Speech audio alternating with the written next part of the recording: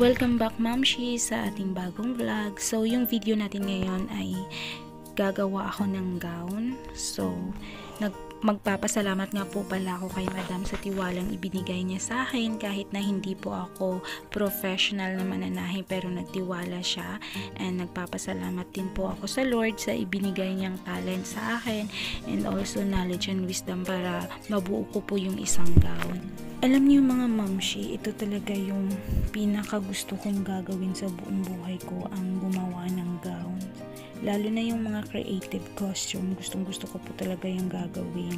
Ito po yung nagpapasaya sa akin yung parang mabuo ko lang yung isang gown ay parang nas, na-relieve ako sa lahat ng pain lahat ng stress sa buhay ko at ito po yung nagpapalakas sa akin pero ma'am, she dumating din po sa point na I almost give up na. Nawala na ako ng gana kasi parang hindi na ako nai-inspire sa ginagawa ko. Parang ako lang yung masaya.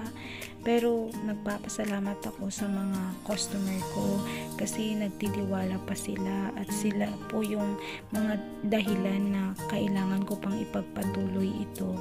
At nagpapasalamat din po ako sa mga taong sumuporta sa akin kahit na nahihirapan na ako ay sobrang ini-encourage pa din po nila ako na gagawin ito.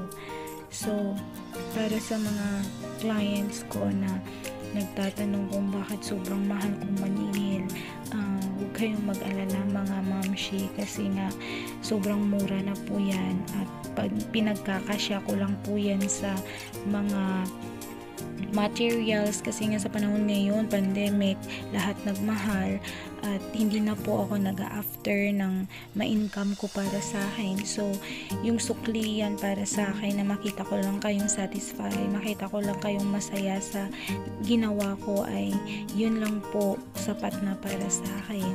Kaya, maraming salamat po sa patuloy na pagtitiwala nyo and sa mga mga tao, sa mga kamag-anak ko, kaibigan ko na nakapalibot sa akin na lagi akong tini-cheer cheer up maraming salamat sa buhay niyo at lalo-lalo na na lagi niyo akong pinag-pray. Yan, sobrang nakakapagod po ma'am si ang gumawa ng gown.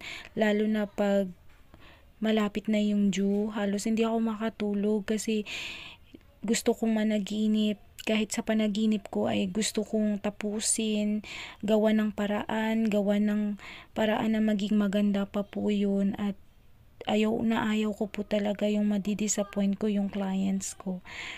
So, nagpapasalamat ako muli sa sobrang tiwala niyo sa akin at hindi ko po kayo bibigoin at nagpapasalamat din po ako sa pinakamamahal kong anak na ayan tumutulong para mag-beads sa kapatid ko.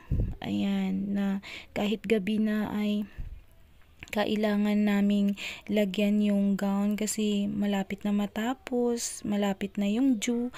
Kaya ang sipag po nila. So pati sila po ay natuto na rin na gumawa ng mga paraan para mapaganda ang gown. So, ayan na yung output. Ayan na po yung final design na nagawa ko. And thank you po talaga ma'am sa tiwala mo sa akin. And sa susunod, thank you for watching.